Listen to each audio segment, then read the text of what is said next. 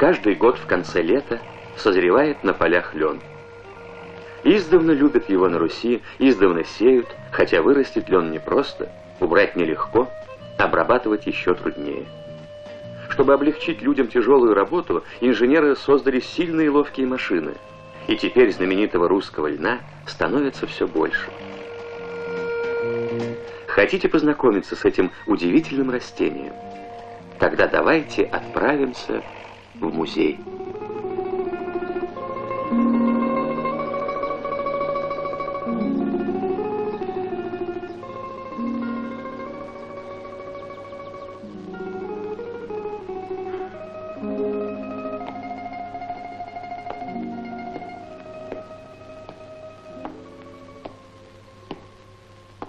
Здравствуйте. Можно посмотреть? Входи, детка.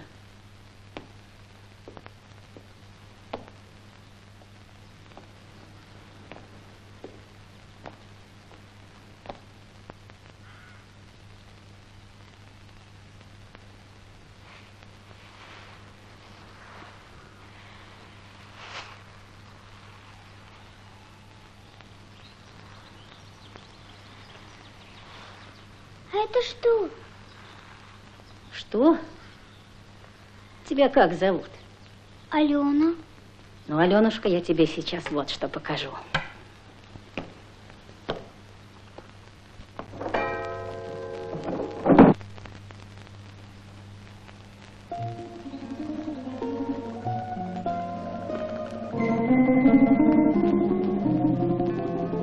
Нравится?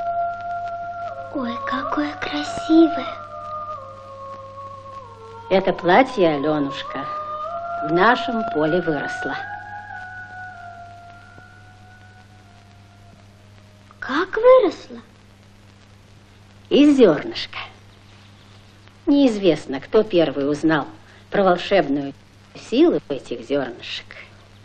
Только каждую весну, как только лист березы в копейку выйдет,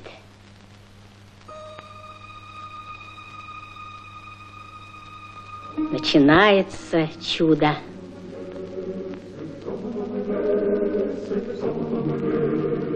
Первый раз я сама это увидела, когда была девочкой, как ты, Аленушка.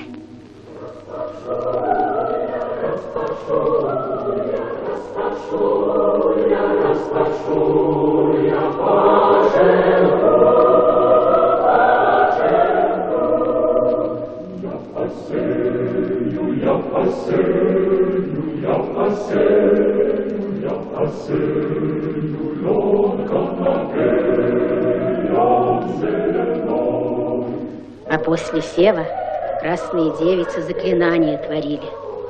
Выбирали самую рослую, она вставала на скамейку, протягивала руку к солнцу и просила его. Взрастит нам лен такой длинный, как высока я теперь, чтобы мы все не ходили голыми.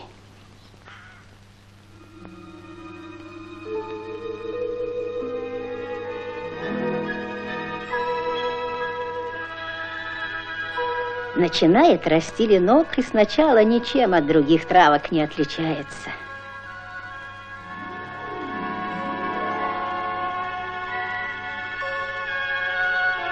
Пору белых ночей лен свой рост останавливает. И вот однажды на восходе солнца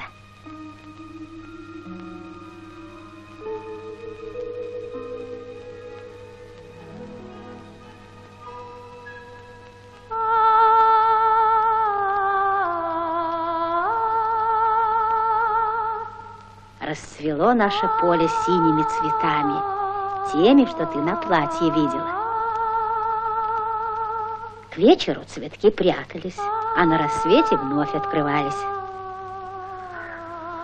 Так цветет лен две недели, четыре зреет, а на седьмую семя лелеет.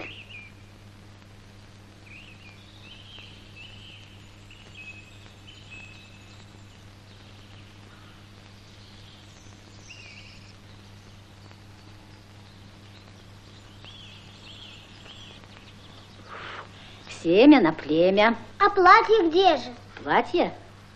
А платье, Аленушка, в стебельке спрятано. Вот.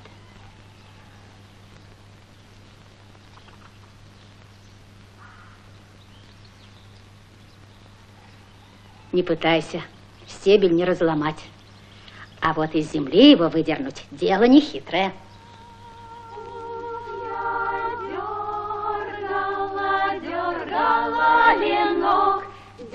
Дергала я, приговаривала. Дело-то не хитрое, но очень тяжелое. За день бывало так намаешься, спины не разогнуть. Теперь-то все это машины делают. И выдергивают, и расстилают. Уж я стала, я стлала ленок, Уж я стлала, приговаривала, приколачивала. А дальше путь к платьям, Аленушка, как в сказке, лежит через огонь и воду.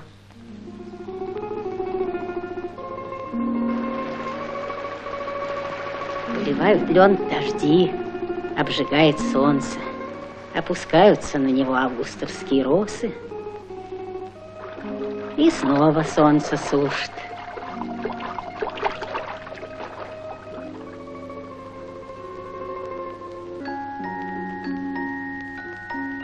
Долго лежит лен в поле, пока не станет совсем хрупким и не начнет в руках трещать. Теперь-то разломить его можно, да только чтобы добраться до его тайны, много труда еще нужно. Сушила, сушила ленок, я сушила, приговаривала, чеботами приколачивала. Ты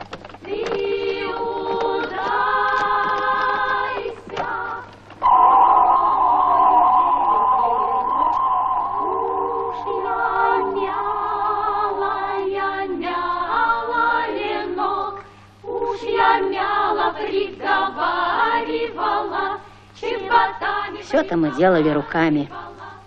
Правда, и в те времена были люди смекалистые, деревянных помощников себе придумывали.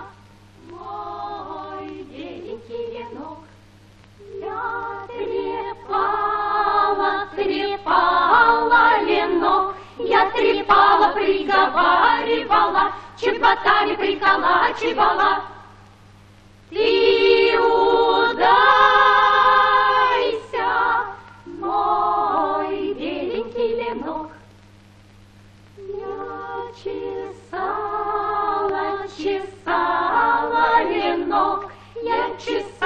приговаривала, чеботами приколачивала. Вот и раскрыл ли он свой секрет, превратился в тонкие, как волоски, волокна. Длиннее ни в лесу, ни в поле не сыщешь.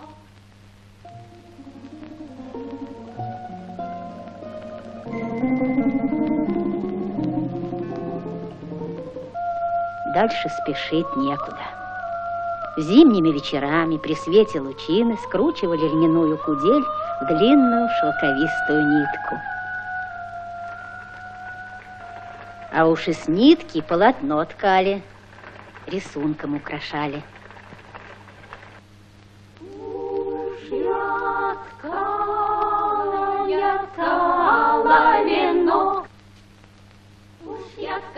Приговаривала, чеботами приколачивала.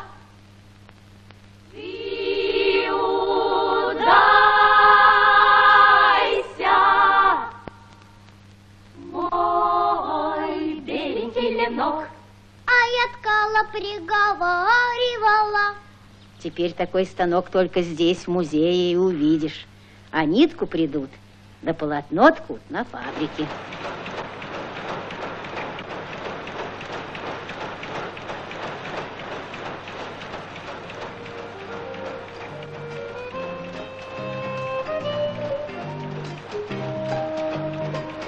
И какие ткани получаются славные, на весь мир знаменитые. Шея из них что душе угодно. Вот так из маленьких зернышек вырастает лен ленок, голубой цветок. Вырастает весь мир одевает.